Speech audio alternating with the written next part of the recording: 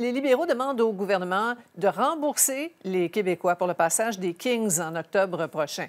Alain, la goutte qui euh, fait déborder le vase, c'est que ces mêmes Kings vont euh, jouer à Salt Lake City pour pratiquement rien deux semaines plus tôt. Deux villes, même combat. Les deux villes veulent une équipe de la Ligue nationale. Le 23 septembre, les Kings seront à Salt Lake City.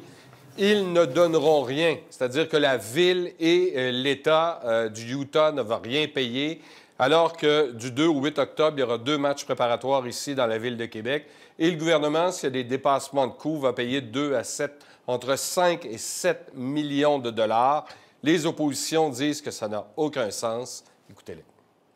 Il va falloir qu'on fasse de la lumière là-dessus. Ça se peut juste pas. Pourquoi avoir dépensé 7 millions? Est-ce que c'est parce que Luc Robitaille est un ami du ministre? J'ai aucune espèce d'idée. Pour moi, ça commence à paraître vraiment bizarre toute cette histoire-là. C'est vraiment choquant et je sais qu'il y a des gens qui nous disent que ce sont seulement quelques millions, mais c'est un dossier qui est une illustration de ce deux poids, deux mesures lorsqu'il s'agit de grandes entreprises, de multinationales et même ici de milliardaires.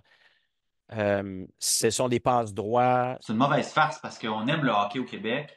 Les Canadiens auraient pu venir jouer au Centre Vidéotron. On aime ça, voir le, Centre Vidéotron euh, animé. Je suis allé voir les remparts il y a une couple de semaines. C'est un beau stade, c'est le fun. C'est plaisant, mais là, qu'on qu gaspille de l'argent public comme ça, c'est une mauvaise farce. Il y a quelque chose de complètement clownesque. Euh, on passe pour des ticounes, je m'excuse, mais c'est pas, euh, c'est pas acceptable. Et le gouvernement du Québec doit revenir sur cette décision-là. Bon, qu'en pensent les contribuables, Alain? Bien, une partie des gens qui vont payer pour ça ne la trouvent pas drôle non plus. Écoutez aurait pu se forcer un peu pour les attirer à moins de frais. Euh.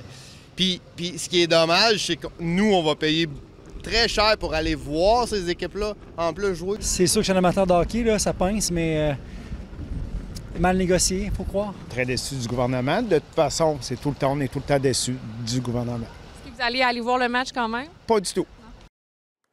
Le cabinet d'Éric Girard préféré n'a pas commenté. Merci beaucoup, Alain.